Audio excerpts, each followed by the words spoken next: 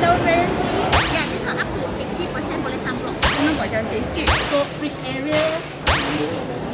Dia untuk you pusing saja, tak boleh tarik keluar ni.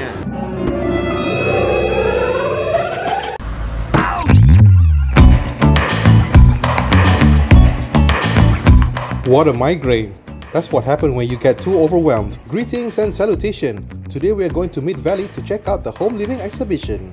This home expo is located at Mid Valley Exhibition Center, MVEC. This expo took place last week from the 2nd to the 4th of April. We are going to share our verdict in the end of the video whether a home expo like this can help you on your home improvement.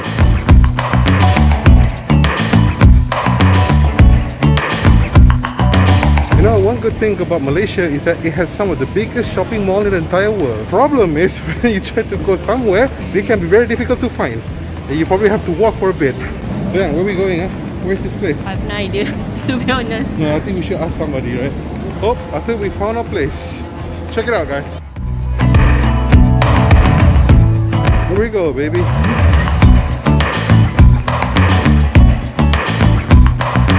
Successful. Nice.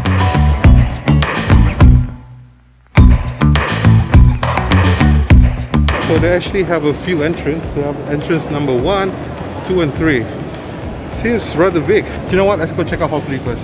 To be honest, it's been quite a while since I've done anything to our current house, our dream family bungalow house. The whole idea of today's video is to get some motivation and inspiration going on because I I started losing it. If you guys have been following me, I've been cooking a lot, so I wish to continue with the progress of my house. Those salespersons are really selling. We really like this nice and luxurious curtain, but I can't get my head around why they are so expensive. They can cost thousands of ringgit for just a single panel. What do you guys think? Leave a comment below. See, this is one thing I like about some of these home living exhibition because when you build a house, there's all kinds of stuff that you need to prepare, like sinks, kitchenry, your curtains, your bathroom wear, a lot of stuff. And the best part is everything is situated at one place. Pretty convenient. But the problem is sometimes you can get a little bit too overwhelming because you can't decide. And before you know it, there's all of the salespeople trying to convince you to buy stuff that you probably don't need. So guys, one tip about coming to this kind of place is to make sure that you know what you're gonna get, okay? Make sure you know what you're looking for.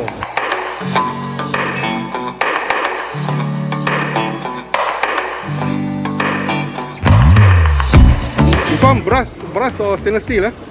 Brush. Brass, ah. Mixer, ah? Personally, we go for specifications more so than brand. This way you know exactly what you're paying for. In most cases, branded products usually come with good quality, but you never know. We are surveying for our dry kitchen faucet, something that has a wow factor. Like this one. Looks big, bold and strong.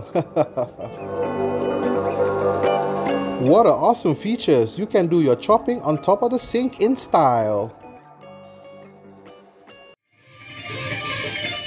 If like the video so far, don't forget to smash the like button. Alright guys, right now let's check out the second hall. Jump.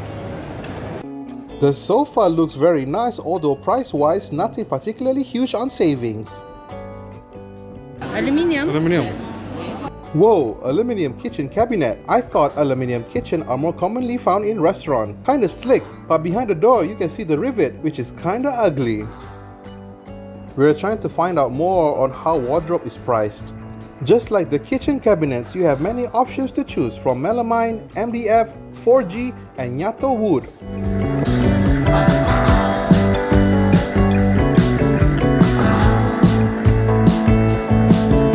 This package costs 50,000 ringgit that covers kitchen cabinets, wardrobe, shoe rack area, bar cabinet, and TV cabinet.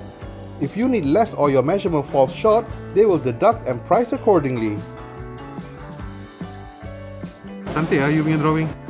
She draws really well. She didn't really need the actual picture to help. The specs of her product are really great too. Ah, wardrobe pun juga jaga sikit. So dia tebal, nampak solid. tebal, nampak solid.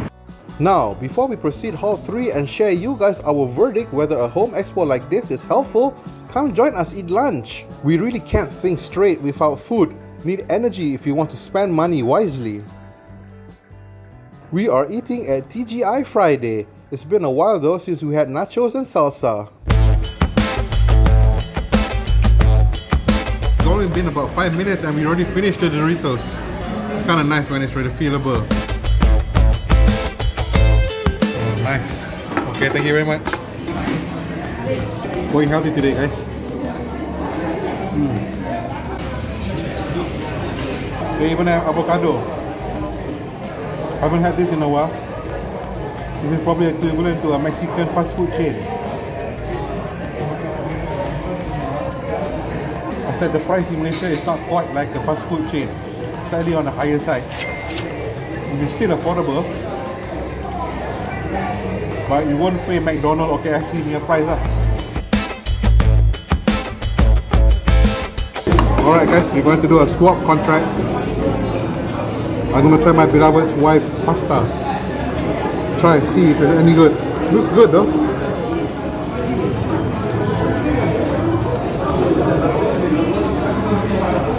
Mm. There's a very smoky flavor.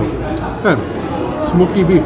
European or American pasta with a hint of Mexican smokiness.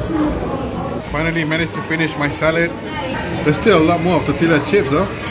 And my wife, she couldn't finish her pasta as well. Probably gonna tap out this one though. Huh? Alright guys, time to check out the door number 3.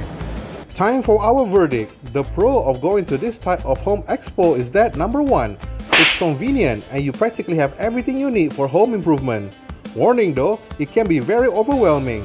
Try not to get a headache. Number 2, sometimes you can get a great deal and lots of freebies. The con however is that number 1, generally the promotion is not that huge. If you compare prices outside, they are pretty much similar. Number 2, they always make you want to lock in prices, typically for a year, which is kinda good but in my experience, after expiry, these prices don't really go up or at least that much. If you decide to lock in prices, the down payment is usually 30%. Then you're stuck with them. And it will suck if you end up with a key person, someone hard to work with, and you don't want to lose your down payment too. Remember guys, they are in a competitive business, they just want you to commit to them. In the end of the day, if you don't have time and you just want to get things done for your home improvement, these exhibitions can be very useful. Otherwise, do your own due diligence properly first and take your time surveying. Remember guys, home improvement is an investment and make sure you know what you're paying for with best execution. What do you guys think? Leave a comment below.